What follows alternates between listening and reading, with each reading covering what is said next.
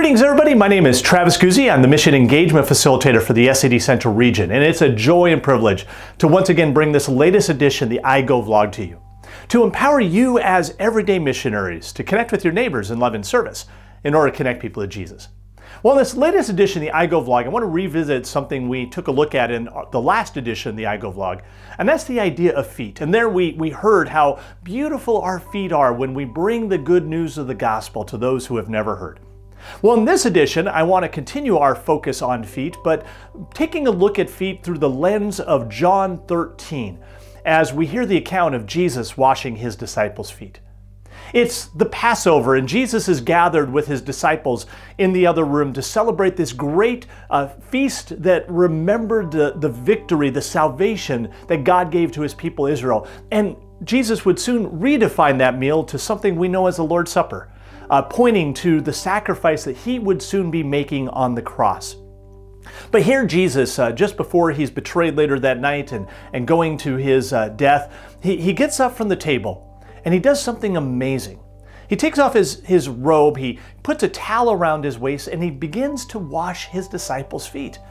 Now, this took uh, the disciples aback because this shouldn't be something that Jesus would do. This wasn't supposed to be part of his job description. You see, washing feet in Jesus' day and age was for the role of a servant.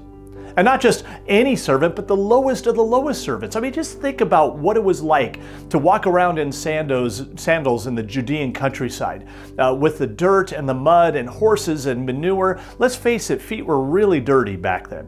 And so it would be the, the lowest of the lowest servant who would be the one who would have to wash feet. And yet here's Jesus, their, their Lord, their Master, their Rabbi, who's of all thing washing their feet. It actually should probably be the other way around. The disciples would expect to wash the feet of Jesus.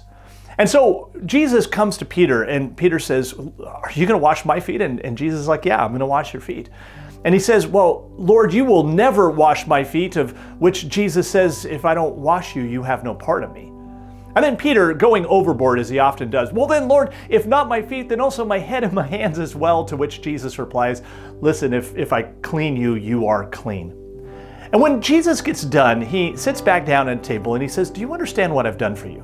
If I, your Lord and Master, have washed your feet, you should do the same. And what Jesus was doing was giving us as his followers an example. That here Jesus is the one who deserving to have his feet washed, and yet he would humble himself and serve us. Serve us the way that he has done by his life, his death there on the cross, and his resurrection in order to make us clean. And if he would love and serve us in such a way, he says, then you as my followers do in kind. We're reminded of Jesus' words that says, uh, if you want to be great in the kingdom of God, you must become like a servant.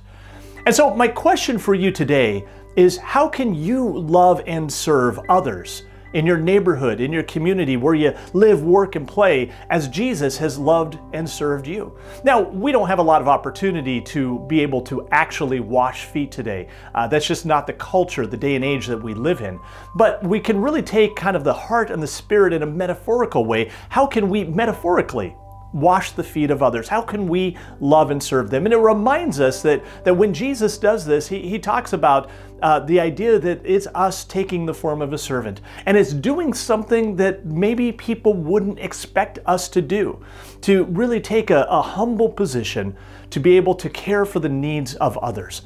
And so, where in your neighborhood, your cul de sac, uh, maybe your apartment complex, your workplace, your school, where do you have that opportunity to, to live as a servant, to serve others in a humble way? And I even want to challenge you to maybe think beyond uh, the places in which you're comfortable and perhaps to find ways to reach out beyond your comfort zone uh, to those who maybe are orphaned and widowed, to those who are hurting and broken, in need and in poverty.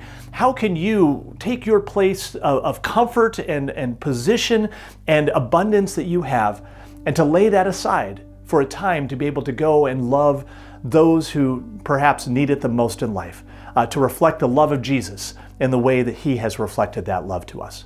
I hope and pray that this uh, iGo vlog has been a blessing to you, inspired you to, to step out and, and love and serve others the way that Jesus has done that for us. Uh, if you have any questions on this uh, vlog or any of the other ones I've done, please feel free to reach out to me. And with that, I want to wish you all God's richest blessings, and we'll catch you next time for the next iGo vlog. Take care, everybody.